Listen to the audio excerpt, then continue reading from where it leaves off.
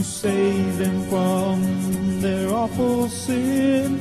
Six hundred years of martyred saints that history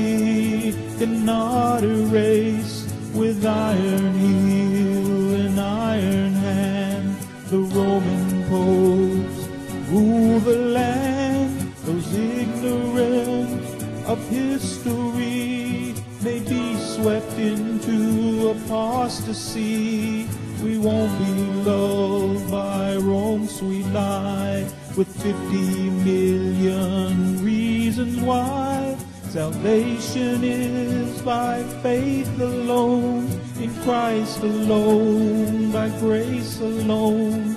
A sovereign God give faith to man. Salvation's in the Maker's hand. This gospel offends Rome today. They offer up another way, a counterfeit, a compromise.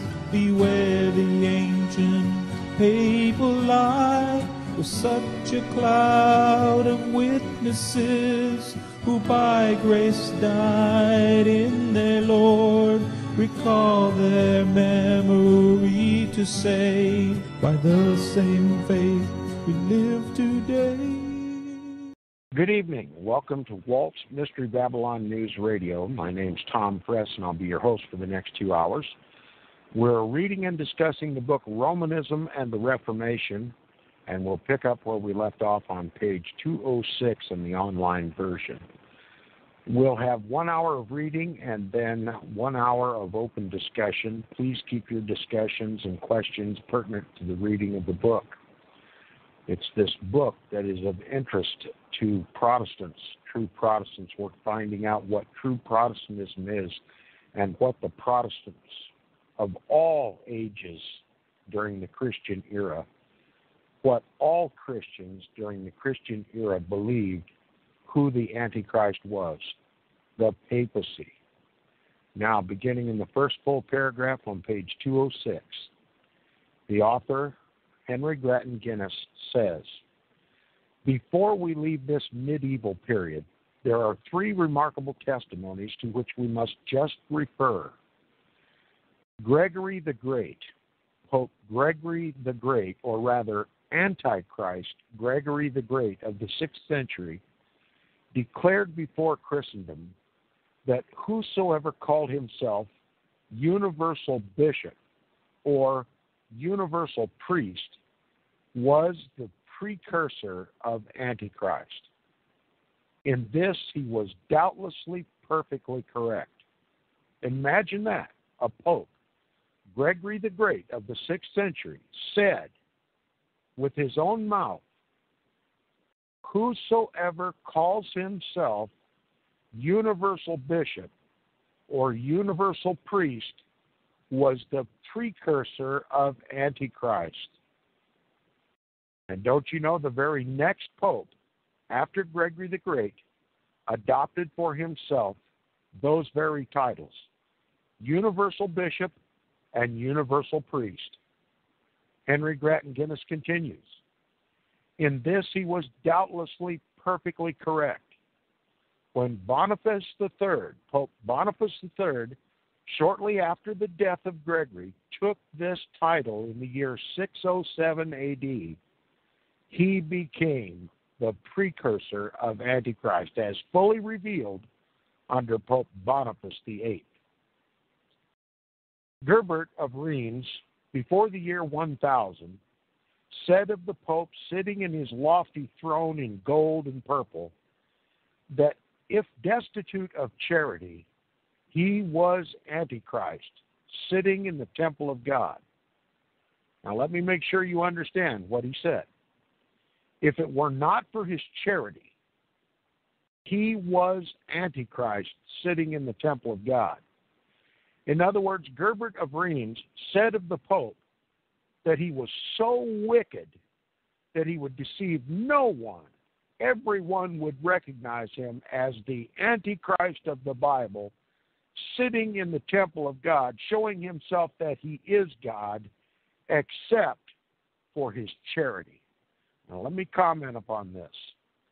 Anyone who knows the Roman Catholic Church knows that it uses charity to cloak its diabolical nature.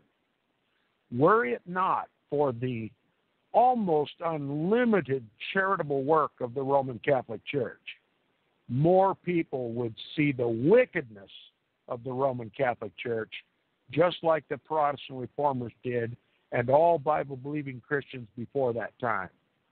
But because of the charitable work of nuns and priests and monks and the church, the Red Cross, and all of the other Roman Catholic charities, the Roman Catholic hospitals, the Roman Catholic nursing homes, the Roman Catholic soup lines and soup kitchens, if it were not for the charities that they perform in the world, more people would recognize the very wickedness of that church. And it's and again he says, if destitute of charity, he was Antichrist sitting in the temple of God.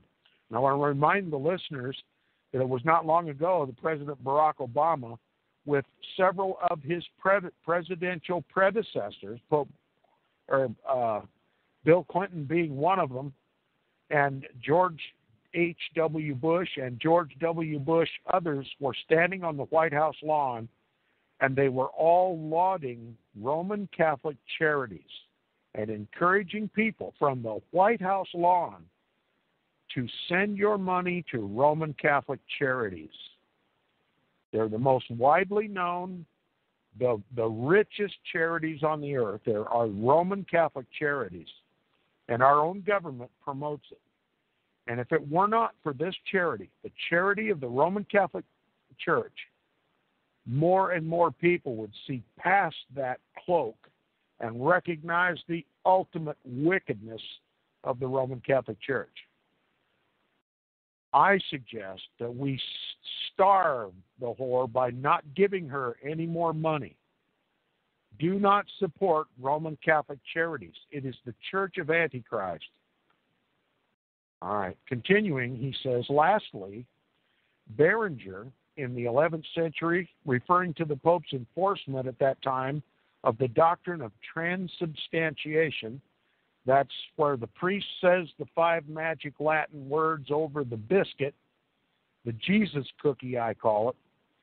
And then Jesus is yanked off of his throne and then is bodily indwelt in that piece of bread. It's called transubstantiation, where the substance of the bread in the wafer is converted on command of the priest into the body, blood, soul, and divinity of Christ to be sacrificed once again on the Roman Catholic altar in the Mass.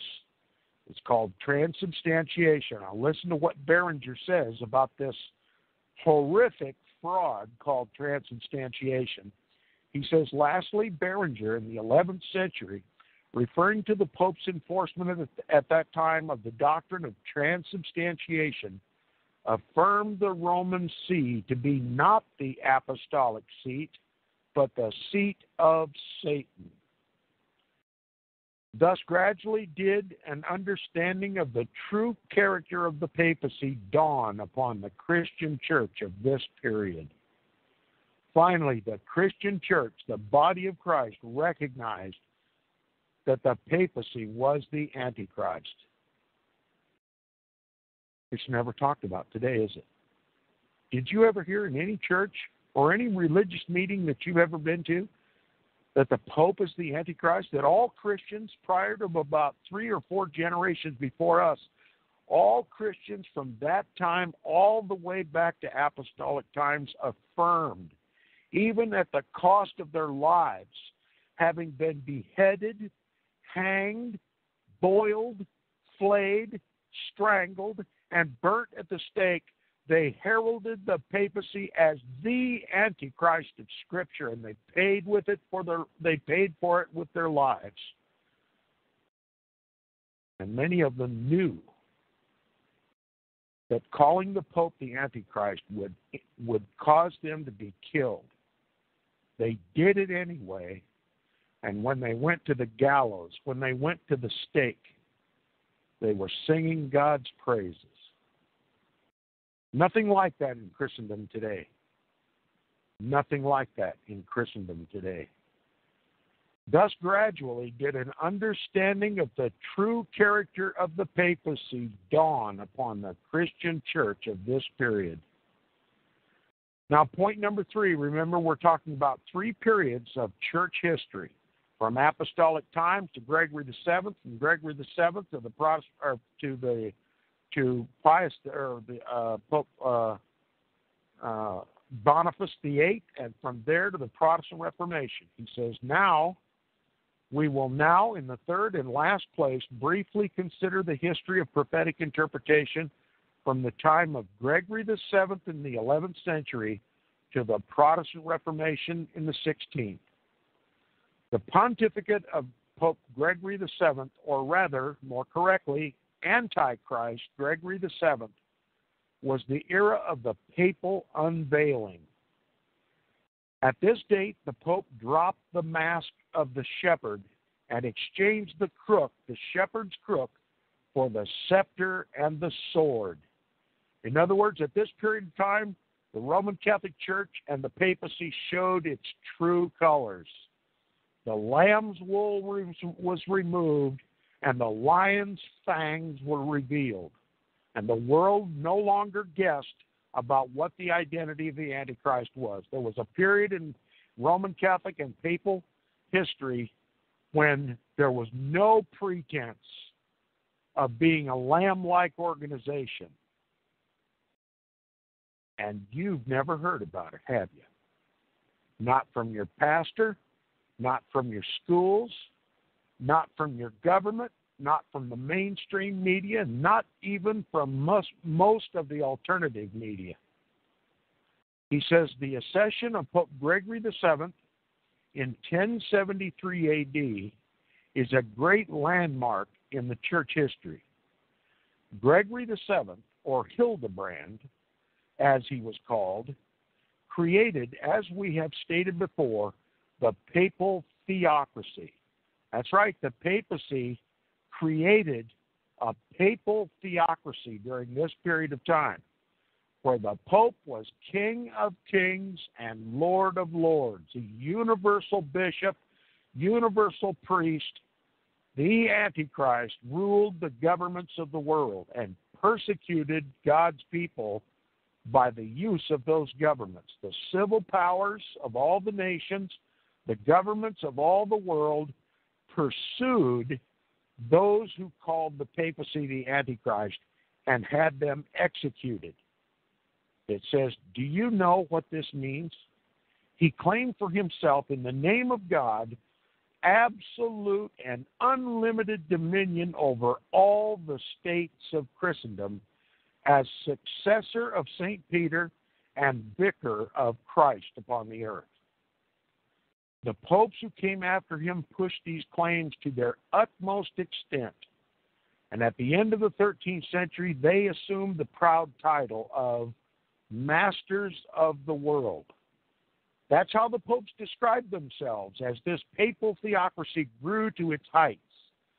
The popes called themselves the masters of the world. Now I want to ask all the listeners who's the master of the world? The one who created it, right? The real King of Kings and Lord of Lords, Christ Jesus the righteous, the Savior of all mankind, all who will come to me. But this wicked man of sin, sitting on his lofty throne in Rome, the city on seven hills, that called Babylon in the scriptures, calls himself blasphemy, the master of the world. And did you know that that's who rules the world today in the New World Order? You see, what we're describing here is the old world order, that which Christians believe is long dead and gone. But that old world order, which was overthrown by the Protestant Reformation, has now been reassembled. After 1929 at the Lateran Accords, Mussolini giving the papacy a vast sum of money, putting the Pope back on his throne in the Vatican, and allowing him national and international sovereignty, and making him also a king of kings. That happened in 1929, along about February 1st of 19 February 11th, excuse me, of 1929. Fascist dictator Mussolini restored the papacy. Once he had been toppled by the Protestant Reformation, once he had been toppled by the French Revolution, Mussolini, fascist dictator Mussolini, restored the papacy to his lofty old world throne. And since 1929, the papacy has been rebuilding his papal theocracy in the world. And again, the papacy, after a brief apparent demise, the papacy has been restored. The mortal wound has been healed, and the papacy now again rules the kings of the earth eh, as he did in the old world order. And they cynically call it the new world order, and they expect that we'll never figure out what they're talking about. Well, we don't have to figure it out. Henry Grattan Guinness has figured it out for us. And we can testify from the scriptures that he bears witness against the papacy, from the very scriptures and from the events of history, we know Henry Grattan Guinness is absolutely correct. The New World Order is simply the Old World Order restored. And only after the demise of Protestantism. And how was the Protestant Reformation overthrown? By futurism by simply changing the identity of the word he, the second word in the last verse of Daniel chapter 9, Daniel chapter 9, verse 27. And he shall cause the sacrifices and oblations to cease. Who caused the sacrifices and oblations to cease?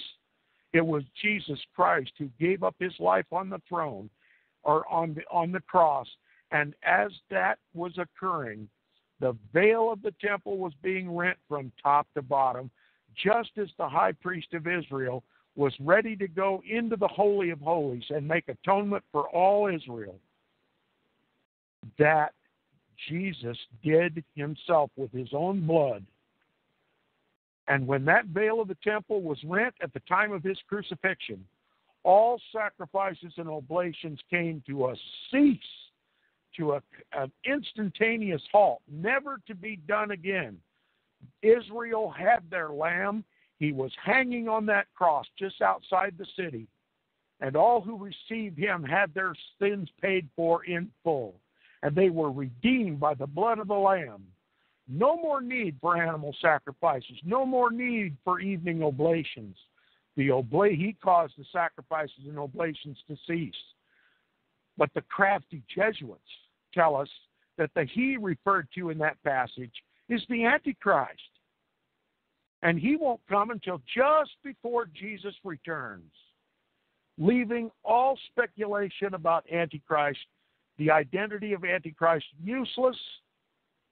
And we can't know who he is. We're not even supposed to know who he is until just seven years or three and a half years before Christ returns. How absolutely ludicrous. It's like God just skipped over the whole Christian, the, the 2,000 years of, of, the, of, the, of the life of, of the body of Christ and focused all of its attention in prophecy to the last seven years of time. It defies common sense. But more than that, it defies the scripture and it defies history. We know from history who the Antichrist was, is, and always will be the papacy. And all throughout the Christian history, the papacy has been fulfilling every, virtually every prophecy given in the Bible about the Antichrist.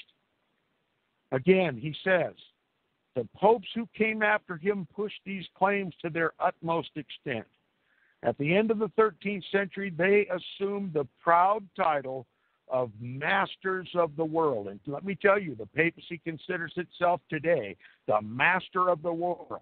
And if there's any king or prince or queen or potentate of any nation in this world that defies the universal sovereignty of the papacy, the nations of the world are brought to war against that nation. Wars, wars, and rumors of wars. And who fights those wars but Protestant USA? It's unbelievable that this Protestant nation would saddle up with tanks and missiles and armors and guns and and depleted uranium weaponry and go marching off to war all over the European and Asian continents, fighting papal proxy wars to help establish this new world order under the papacy. And how could a Protestant nation render itself, pay its taxes for to fight these wars, carry the guns and the ammunition to fight these wars, shed their own blood in the act of committing these wars, all for the benefit of the papacy, is because we believed in futurism. That Antichrist isn't even a factor in the world today. We don't have to worry about Antichrist. He doesn't come to the last seven years. But let me tell you, Henry Grattan Guinness and all the Protestant reformers and all the Protestants that be, that preceded the Protestant Reformation, they knew infinitely who the Antichrist was, the papacy, and millions upon millions upon millions upon hundreds of millions of people lost their lives for telling the truth about the papacy. It's only our generation that's ignorant and wandering after the beast with all we have our fortune, our blood, our money, everything to fight papal proxy wars all over the world. The American United States of America is nothing but a crusader for the Pope. And why? Because we want a one world government, a one world religion, a one world economic system, a one world social system, all under the control of the government or agencies that the Pope establishes in the world to rule the world as he sees fit to rule it in His name. That's what's happening in the world today. It's a hideous reality, but we have to come to grips with this. Henry Grattan Guinness is nothing new. Henry Grattan Guinness is only telling us what Christianity has believed for 2,000 years. This book has relevance to us because we've never heard these things before. And you have to ask yourself who's responsible for hiding for us from us the history of Christianity two, for 2,000 years. How have they hid all that history from us? How did they hide from us the beliefs of all the Protestants before our time, all the way back to the to, all the way back to apostolic times? Who ever heard in our generation that the Pope is the Antichrist? Somebody's responsible for this. We are responsible for this. We're not supposed to be ignorant of these things. We need to turn off the television, turn off the football games, turn off the pornography, turn off everything in our lives, and find out what this New World Order is really all about. And who's responsible? What did God's people believe before our time? Have we been lied to by our preachers? Have we been lied to by our evangelists? Have we been lied to by our government? Who does our government serve? Does it serve the people of, by, and for the people? Or does it serve one person on a golden throne in Rome? Did you ever notice? Every president of the United States in modern history has made at least one trip to the Vatican and many, as many as seven trips during their administrations. Did you ever ask yourself, why did the presidents of the United States, who are supposed to represent the people of the United States, the majority of which are Protestant, why do they all go to the Vatican? Are they just having tea and crumpets with the pontiff? Or are they taking their marching orders? Every Christian in this country, from coast to coast and from border to border, ought to hold every president of this country responsible for every word, secret or otherwise, open or clandestine, that's been said at the Vatican, either from the Pope to our president or from the president to the Pope. As a matter of fact, I would make it a law, since there is no establishment of religion in this country, to forbid any president of the United States to ever sit in private with the Pope of Rome, the Antichrist of the Bible. But you'll never see that kind of courage in the American people because why? They don't believe the Pope's the Antichrist. He preaches Jesus. He cannot be Antichrist. Besides, Antichrist doesn't come until just before Jesus returns. Do you see how thoroughly you've been deceived? What about all the Christians before us? Could they all have been wrong?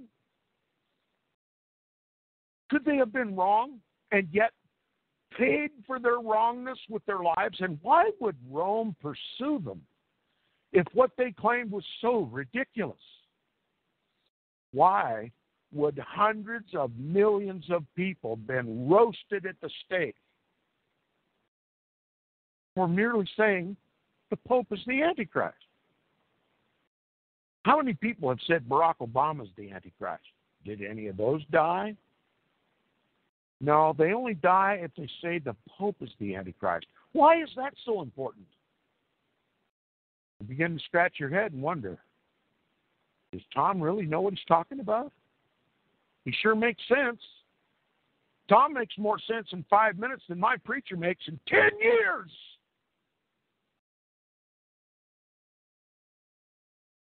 You know what this means, says Henry Grattan Guinness?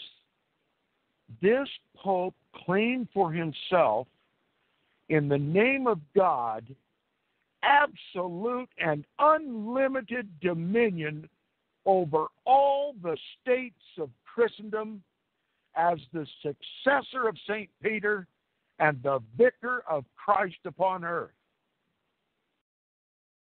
And you know what? If you go out and ask any Christian on the street who is the Antichrist, they'll look at you, well, we're not supposed to know. Do you think God would make it hard for us to figure out who the Antichrist is? He wants all of us to know who Jesus Christ is. The whole Bible is written about what even the words that Jesus would say on the cross. He didn't want us to miss Jesus Christ. Why would he play games with the identity of Antichrist? Is God a trickster of his own people? Why would God deal? If Jesus would give up his life to redeem us, why would he then turn around and make the identity of Antichrist a mystery? That's what the world thinks. That's what the Christian world thinks. That Jesus would leave his throne in glory, come down, be born of a woman, bear our sins, and die on the cross to pay for our sins in the most hideous, torturous crucifixion and then toy with us and leave us to guess who the Antichrist is. It defies common sense. Who would accuse God of being so trivial and so treacherous with the people that he died for? But that's what all of Christendom believes. Well, they have no problem believing in Jesus but they don't even care about Antichrist. And that's why they all wonder after him. They all carry his mark. They all obey his laws. They all look to the government of the United States for Social Security, for jobs, for benefits, for entitlements, for everything. And the Bible clearly tells us that Daniel would not even eat from the king's table. Why are we any different than Daniel? Is God a respecter of persons? Daniel was different than us? Was Daniel more holy than us? Or should we be like Daniel? We should be like Daniel. If the government serves the papacy and not the people, not God's people, if it rules for the Pope's behest and not for God's behest, if it enforces and upholds the papacy's laws and not God's laws, then it's not a godly government, and we have no moral or legal responsibility to obey the laws of Caesar or of Nebuchadnezzar, Babylon. You know, Paul, the Apostle Paul, was beheaded by the Caesar of Rome because he wouldn't obey the Caesar. He wouldn't shut his mouth. He was preaching Jesus and only Jesus. He was preaching the kingdom of heaven, not the kingdom of Caesar. He condemned Caesar as just a servant of Satan, a man who called himself a God man, just like the Pope does today. And Paul lost his head. But we wouldn't think of it, would we? No, our government's benevolent. We go fight all these wars across this world to preserve our national identity, our national sovereignty, prevent the spread of communism. Baloney! We're conquering the world for the Pope. The United States government, that that's supposed to act for the benefit of the people, of, by, and for the people, remember, has given all of its power and strength to the United Nations. The United Nations now makes our laws, and they don't listen at all to the people of the United States. They don't even pretend to. And when you see the government of the United States giving its power and strength to the United Nations, you just plainly, common sense has got to tell you, it's not a government of, by, and for the people. So, what does the United Nations represent? It's literally the global government of the Pope. The papacy has observer status in the par- in the Parliament of the United Nations. Observer status. Why just observer status? Well, because it's its own organization. It observes to make sure that the United States governs the way the papacy instructs it to. And the United States government just kowtows to it. Henry Grattan Guinness is warning us about this Antichrist, the papacy. And we've got to listen to it. He said the popes who came after this pope pushed these claims to the utmost extent, and at the end of the 13th century, they assumed the proud title of masters of the world. Three names stand out conspicuously in these three middle centuries of this dark period Pope Gregory VII, Pope Innocent III, and Pope Boniface VIII. The historian of the Middle Ages well says, quote, as Gregory VII, Gregory VII appears the most usurping of mankind till we read the history of Pope Innocent III. So Innocent III is thrown into the shade by the supreme audacity of Pope Boniface VIII. The papacy just gets bigger and bolder and bigger and bolder until Pope Boniface VIII. And what is so special about, about Pope Boniface VIII? Because in his bull entitled Unam Sanctam, he said, It is absolutely necessary for the salvation of man that every man, woman, and child on the earth be subject to the Roman pontiff. Plainly, you cannot be saved unless you are a subject of the Roman pontiff. Where's Christ in all that? Why, we're supposed to believe that the Pope is the vicar of Christ or the replacement of Christ on the earth. The Pope is the replacement of Christ on the earth, and we're supposed to believe and obey him as though he were Christ? That's what Pope Boniface VIII said. The epitome of Antichrist was demonstrated in Pope Boniface VIII. You have your Antichrist in full living color, not one detail left out of Scripture regarding the Antichrist. It was all manifest to the world in the pontificate of Pope Boniface VIII. And the whole world wonders after the beast. All the governments of the world govern the people with that objective in mind that every man, woman, and child on the planet must be subject to the papacy for salvation. He says the historian of the Middle Ages well said, quote, as Gregory the Seventh appears the most usurping of mankind till we read the history of Pope Innocent III, so Innocent III is thrown into the shade by the supreme audacity of Boniface VIII. He gives that as a quote from Hallam's History of the Middle Ages, page 384. Look it up yourself. Now, in those days lived the great Italian poet Dante. He described his age with extraordinary power.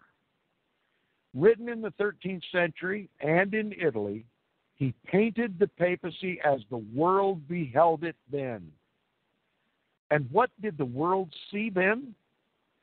It saw in the papacy the usurping man of sin and in the Church of Rome, the Babylon of the Apocalypse. That's what the world saw of the papacy and the Roman Catholic Church during the days of Babylon. The Pope was the man of sin, and the Roman Catholic Church was the Babylon of the Apocalypse, of the book of Revelation. Mark, he says, even the world saw it. That's right not just the Christian world, but the secular world saw that the papacy fulfilled all the prophecies in the Bible regarding Antichrist. There was no one ignorant about what role the papacy played in the world, what role the Roman Catholic Church played in the world regarding regarding uh, Bible prophecy and history. It was no secret. The secret was out of the bag. Why are we so ignorant today? And who's responsible for that ignorance? You have to keep asking yourselves, why are we so ignorant of our Protestant history? Who held this history from us? And you have to understand every authority in this country has helped to hide this history from us, most especially the churches and the schools. Did you ever read anything in your secular history books in the schools about what the world believed of the Roman Catholic Church and the papacy? Did you ever read in, in history books in school anything about the Inquisitions and the Holocausts? Oh, yes, we know the Holocaust to be the, the annihilation of six million Jews, but don't you know that there were many, many, many Holocausts before that one, and they weren't Jews. They were Bible believers, God's true people. You know, they covered up the history of that and focused all the attention all the attention on, on the on the murder of six million Jews. Why? Because the Jews are an extreme minority in the world, but Protestants are a majority in the Christian world. And if they're ever restored to their true Protestant history, if they ever find out the role the Roman Catholic Church has played and the papacy has played to annihilate Protestant Christianity in the world, they might be a military threat to the papacy. They might be a military threat to all the governments of the world. They might start another Protestant Reformation and destroy this new world order before it can be restored. Rome says they dare not know their Protestant history. They dare not read Fox's Book of Martyrs. They dare not read Henry Grattan Guinness's book, Romanism and the Reformation. We've got to scrub that from all the history books. We've got to call it hate speech talk evil about the Roman Catholic Church and the papacy. We've got to start killing those who claim the Pope is the Antichrist, just like we did in the Dark Ages, in the Old World Order. That's the New World Order, folks. That's right. The papacy is that man of sin. And the Roman Catholic Church is that Babylon of the book of Revelation. And Dante confirms it in his poetry. Here a few lines from Dante's immortal poem on hell, purgatory, and paradise. Remember, Dante was Roman Catholic. Woe to thee, Simon Magus. Who's he talking about here? Simon Magus, the first pope of Rome. Woe to thee, Simon Magus. Woe to you, his wretched followers, who the things of God which should be wedded unto goodness, them, rapacious as ye are, do prostitute for gold and for silver. Your avarice o'ercast the world with mourning underfoot treading the good and raising bad men up. Of shepherds like you, the evangelist was ware, when her who sits upon the waves with kings in fitly whoredom he beheld, she who with seven heads towered at her birth, and from ten horns her proof of glory drew, long as her spouse in virtue took delight. Of gold and silver ye have made your God, differing wherein from the idolater. But he that worships one and ye a hundred? Ah, Constantine, to how much ill gave birth not thy conversion, but that plenteous dower which is the first wealthy father gained from thee. What dower was Dante talking about? The donation of Constantine. It's an abject forgery, even admitted by the most authoritative historians of the Roman Catholic Church. The papacy began claiming that Constantine donated all the world to the papacy. Constantine ruled the world, and when he gave up his jurisdiction, he gave it to the Pope. And by divine right, by the right of Constantine Caesar, the Pope now has the same jurisdiction as Caesar had during the Roman Empire. God said, The earth is mine and the fullness thereof. So the Pope now says, on the authority of the donation of Constantine, an abject admitted forgery, that the earth is his and the fullness thereof. Who is Antichrist? It's the papacy. Even Dante knew it. Even Dante knew it. In his poem on paradise, Dante says, My place he who usurps on earth hath made a common sewer of puddle and of blood. No purpose was of ours that the keys which were vouchsafed me should for ensign serve unto the banners that do levy war on the baptized nor I, for sigil mark, set upon uh, set upon sold and lying privileges, which makes me oft to bicker and turn red. In shepherd's clothing, greedy wolves below range wide o'er all the pastures. Arm of God, how long sleepest thou? Unquote. Dante is calling for the strong arm of God to destroy the papacy who makes mockery of his name. Even Dante knew it. In the end of his poem on paradise, he refers to the Apostle John as the seer that ere he died saw all the grievous times, all the grievous times of the fair bride, the body of Christ, who with the lance and nails was one. Unquote.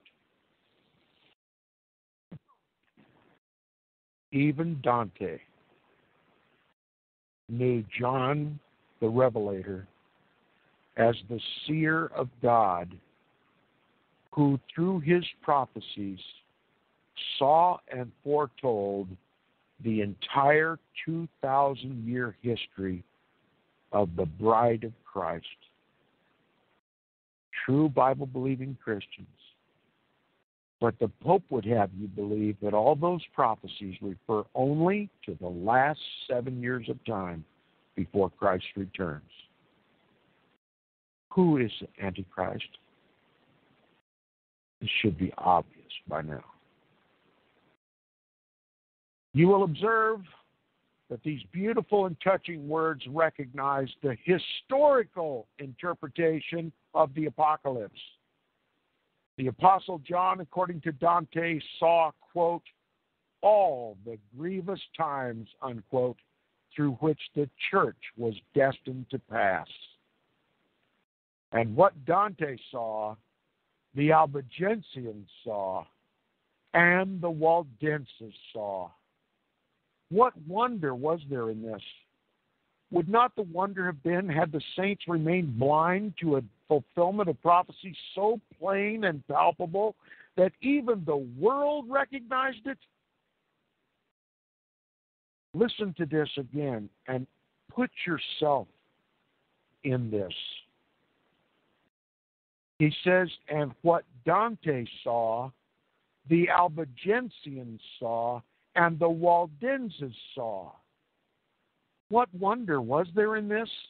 Would not the wonder have been had the saints remained blind to a fulfillment of prophecy so plain and palpable that even the world recognized it? Yes, during that time, even the world recognized who Antichrist is. But what does the body of Christ today say? Why, the papacy is a man of God. That's what Christendom says today. We could not be in any more grievous error than we are.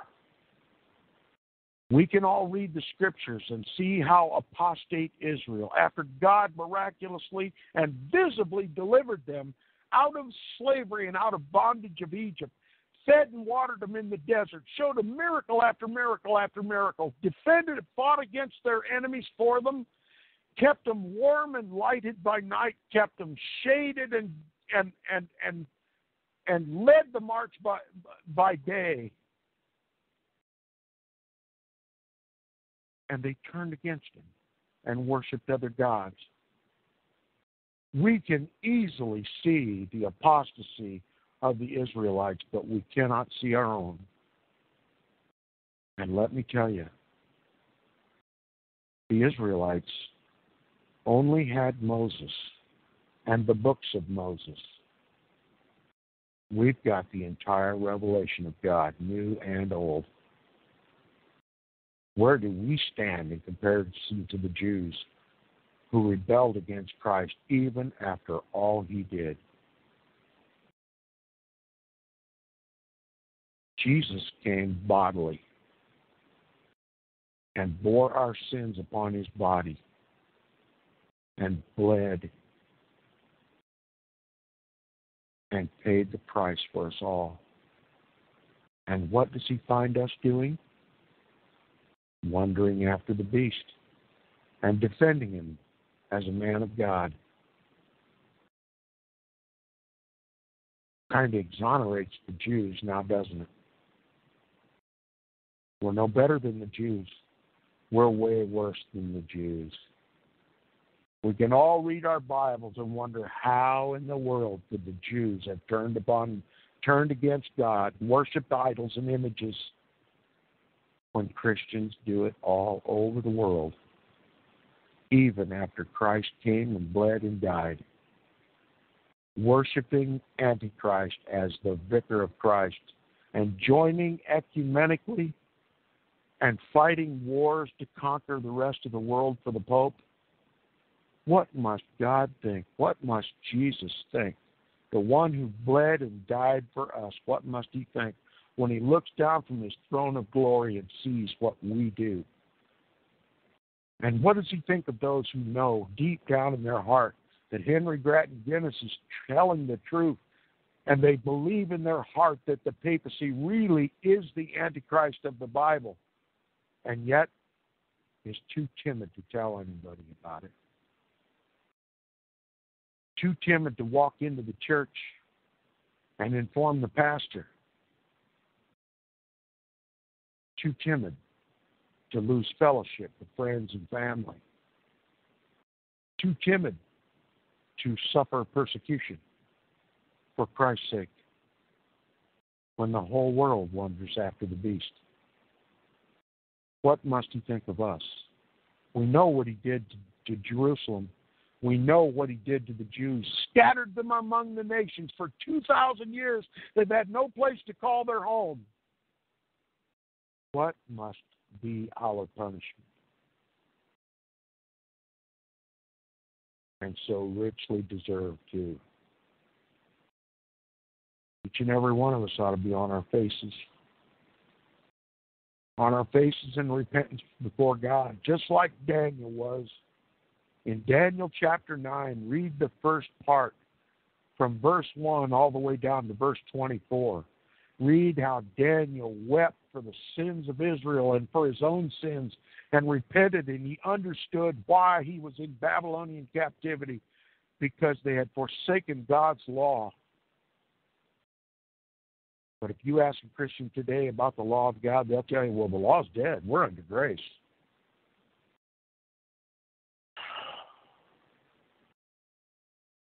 There, there couldn't be a more dire set of circumstances than there is currently in what is called Christendom today. We have put the Jews to shame for sinfulness and rebellion. But we stick to our guns. We're Christians. We're going to heaven. We're going in the rapture. Rapture ready, they call themselves. I got news for you there isn't any good news except for those who repent and have victory over the mark of the beast and the number of his name. Most people can't even tell you who the beast is.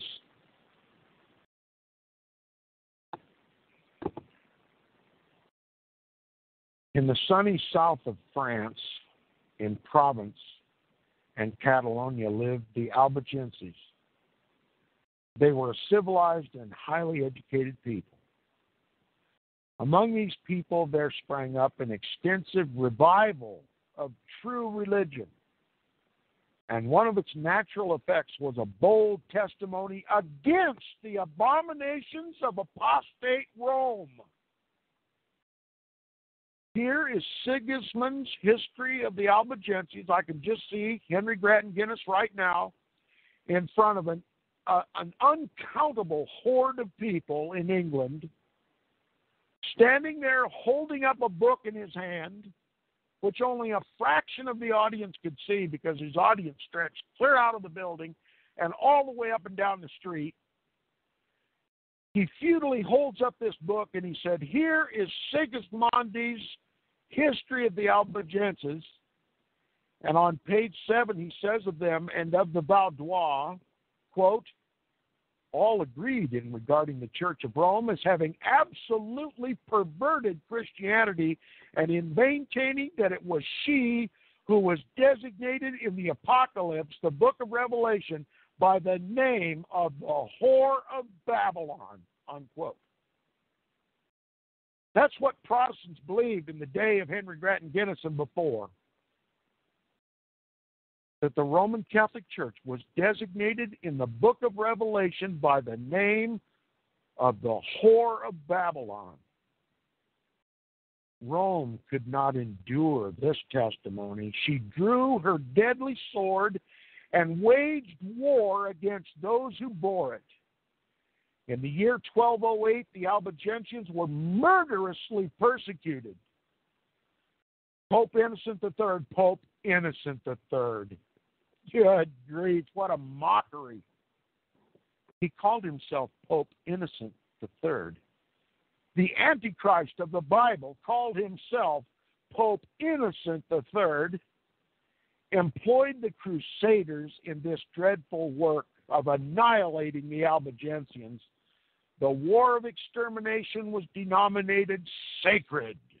That's right. The Antichrist of the Bible calls a crusade for the annihilation of the Albigensians, the God fearing, Bible believing Albigensians, and he called the crusade sacred. Just like George W. Bush called the crusade against Iraq and Iran and Afghanistan a crusade, a sacred work for God. Are you beginning to get the picture? There's nothing different between the New World Order and the Old World Order. Not one stitch of difference. He says the Pope's soldiers pers- prosecuted this war with pious ardor. Men, women, and children were all precipitated into the flames. Whole cities were burned. In Braziers, every kind of sounds like shock and awe, doesn't it? Remember that night when we all stay, stayed up late on television in the middle of the night when the United States opened the shock and awe murderous campaign, rather crusade against Saddam Hussein and and and uh, the ancient Babylon of the Bible. Yeah, they're going to tell us that they all conquered Babylon. Now we need to build a Christian world under the Pope, of course, because he's Christ's vicar. You see where that went? You didn't know there was rhyme and reason between this made up war between the United States and Babylon, did you? Well, we can, all of us Christians can say, well, Babylon's been destroyed, right? Saddam Hussein's not a factor in the world. There was no nuclear weapons. There was no weapons of mass destruction. There was no poison gas. There was nothing. But we conquered Babylon. Now we can have a Christian world, right? Read the prophecies of the Bible. Isn't that what it says? No, that's not at all what it says. The Bible says there be there will be no peace until the Prince of Peace returns. Until then, there will be wars, wars, and rumors of wars. And who's fighting the wars? The papacy, and he's doing it the same way he did in the old world order. He's using the militaries and the governments of the nations of the world to fight her wars for her. And we watch him on television and are oblivious to what's really going on. Again, he says the Pope's soldiers prosecuted it with pious ardor. Men, women, and children were all precipitated into the flames. Whole cities were burned. In Braziers, every soul was massacred. 7,000 dead bodies were counted in a single church alone where the people had taken refuge. The whole country was laid waste. An entire people was slaughtered, and the eloquent witness of these early reformers was reduced to the silence of the sepulchre. Are you getting a mental picture of what a holy Roman crusade is? A holy work for God, a sacred work, these crusades. Who did they kill? God's people. And you better know they are the target of the New World Order, too. He says, Thus began the tremendous war against the saints foretold in Daniel and the Apocalypse. And thenceforth, from then on, it was murderously prosecuted from century to century. Early in the 13th century was founded the Inquisition, and full persecuting powers entrusted by the popes to the Dominican uh, to the Dominican monks. He left a whole order of monks to be in charge of the Inquisition.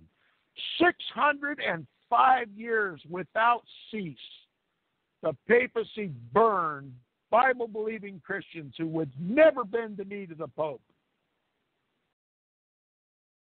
He says a remnant of the Vaudois and by the way, the Vaudois in our language, not in French, but in English, were called the Valley people.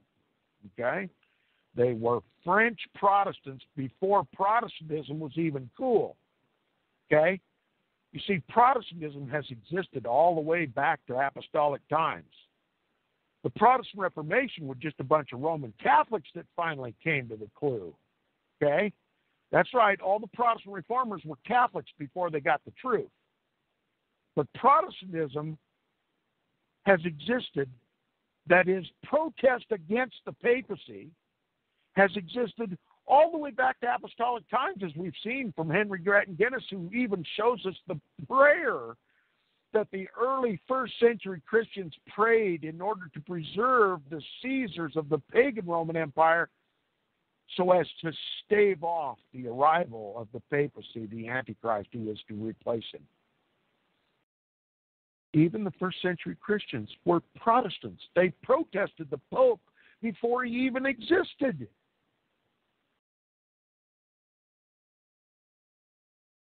Daniel foresaw it. John foresaw it. Paul foresaw it. And he said in the early 13th century was founded the Inquisition. Have you ever heard the term Inquisition? Do you know what it is? Did your church ever teach you what the Inquisition was? You know what? Some Sunday morning you need to walk up to your pastor, right in front of the whole congregation, and say, Mr. Pastor, will you please tell us about the Inquisition? And watch his face turn red. And let everybody else watch his face turn red. And listen to his answer. Well, we don't want to talk about that anymore. We're all about unity now. We're not going to live in the past. We're going to live in the future. We want peace and unity. We don't want to return to those old wars. We don't want to fight against Antichrist. We want to join Antichrist. That's going to be his answer. Trust me, you go to church Sunday and you ask your pastor to teach for the next three Sundays in a row everything he knows about the Inquisition. You know how long it'll take? Five minutes, because that's all he can remember of it. That's all he's ever been taught about it in seminaries that it existed. The Spanish Inquisition, what was there like, uh, maybe 50,000?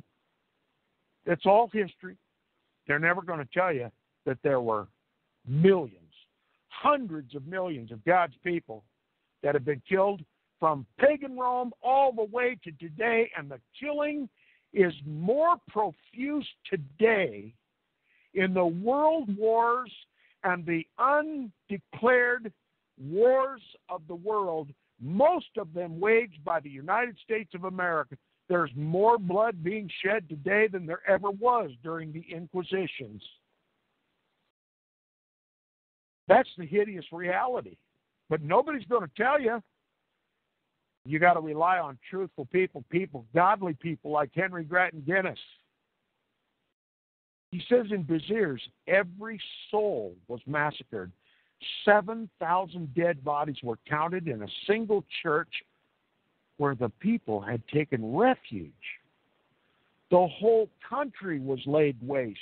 An entire people, let me read it again, an entire people was slaughtered, and the eloquent witness of these early reformers was reduced to silence of the sepulchre.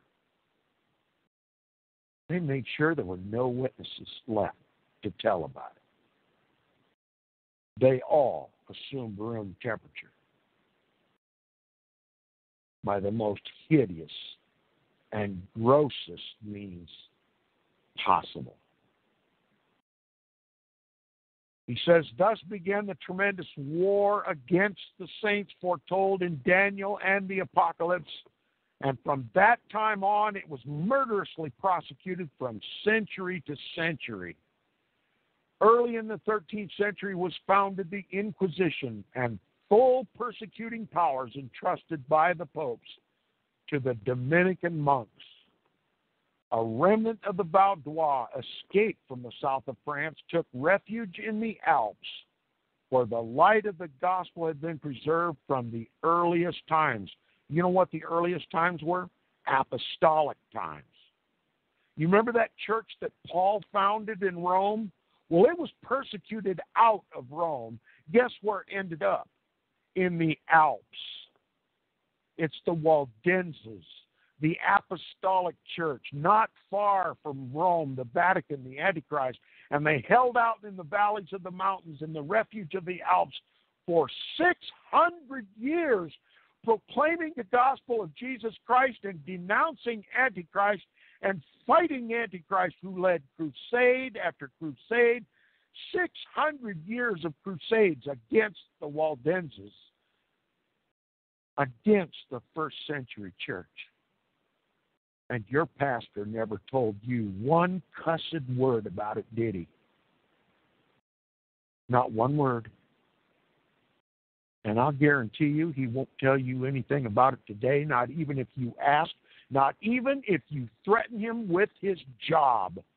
He won't answer your questions because he's an ecumenical evangelibelly he is a papist in waiting, may well be Jesuit trained, ready to make you Roman Catholic and take the Eucharist and believe in transubstantiation and worship of the Virgin Mary and confessing your sins to a priest and everything else. Even my sister reported to me that the charismatic church to which she goes, the pastor arrives every morning in a paper mache bishop's mitre apostasy, and no one's got the courage to denounce it for what it is. Well, I do, and you better too. We must start at the foot of the cross. For our souls in danger, we're at loss. And when we kneel in that awesome place, at that very moment, you'll feel God's grace. Friend, let me tell you, you need to know there is heaven, also hell below. Christ died on that cross to set you free from your vile sins and hell's agony. You're God's enemy without the cross. Reject Christ, and to God your dross. To the prison of hell he will send, just Christ's work on the cross makes amends. God hates those who try to enter in, the gates of heaven still full of sin. Only his Son can take sin away. Go to the foot of the cross this day. God has provided only one way to enter heaven's wondrous array. Except what Jesus did for us all. He paid our debt, so hell won't befall. Go to the foot of the cross this day. His precious blood washes sin away. We each need to think more of his cross Without our Savior, we're total loss.